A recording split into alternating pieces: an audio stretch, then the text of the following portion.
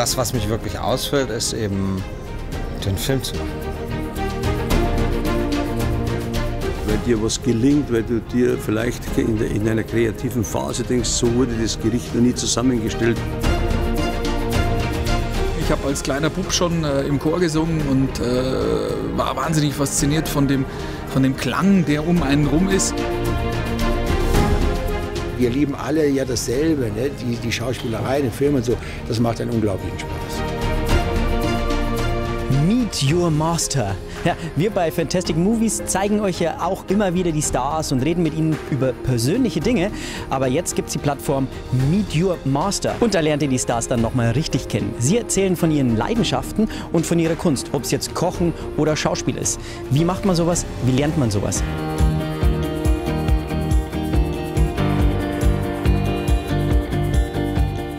Kann euch den Zug zeigen äh, und zum Zug begleiten. Einsteigen, losfahren und ankommen, das müsst ihr selber. Ne? Aber das ist schon viel wert, da hinzukommen.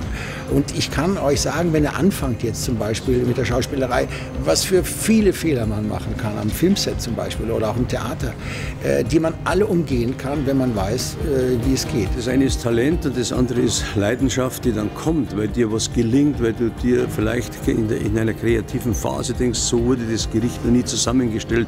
Und wenn du dich medizinisch dann ein bisschen interessierst und denkst, aha, wenn ich das mit dem zusammenpaare, dann kommt noch mehr für den Körper raus, ohne dass der Endverbraucher das weiß. Aber er fühlt sich wohl und denkt sich, wenn ich, wenn ich bei dem beim Essen bin, dann geht es mir immer gut. Es geht bei den Fetten los, es geht beim Produkt los, es geht bei der Wertigkeit los und endet in der Leidenschaft. Es geht auch und vor allem natürlich um das Technische, es geht um, die, um, um Singen, aber es geht auch um das viel, viele, die vielen Fragen, die rundherum passieren. Was ist mit der, mit, was ist, wenn ich erkältet bin?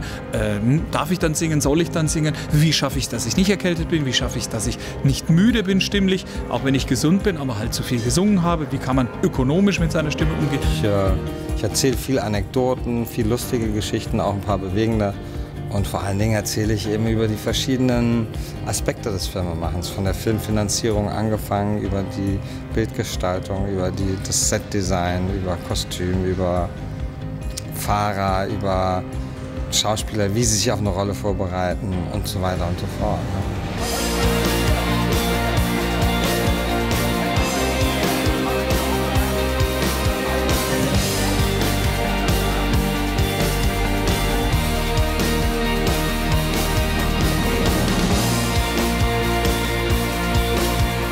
Wer wirklich brennt für etwas, wer eine Leidenschaft hat und spürt, ich muss das jetzt einfach mal machen, der muss das tun, egal wie unwahrscheinlich es ist, dass er Erfolg hat. Weil am Ende des Tages sage ich immer, du kannst ja nur gewinnen.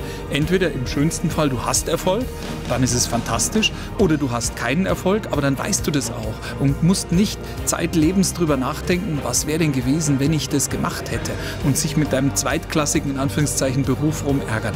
Das darf nicht passieren. Ich denke mal, du hörst dir das an und lernst eine Menge. Ne? Und das, was du für dich rausziehen kannst, nimmst du mit und womit du nichts anfangen lässt, das lässt du eben weg. Aber ich denke mal, wenn du Opernsänger werden willst und fünf Stunden dir das anhörst, was der Gute da erzählt, ich glaube, da kannst du eine Menge von lernen.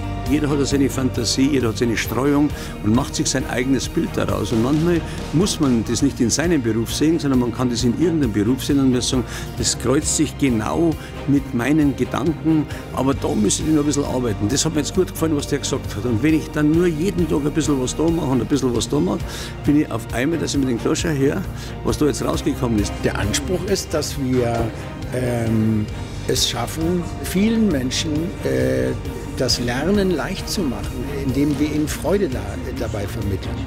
Das ist äh, unser Ziel. Wir, wir, möchten, dass viele Menschen eigentlich das, was sie wollen, nämlich etwas lernen, dass sie es auch machen, dass sie auch etwas lernen.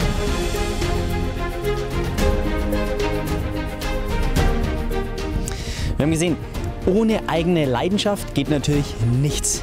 Darum den Kurs mal ausprobieren. Ich werde es gleich mal machen.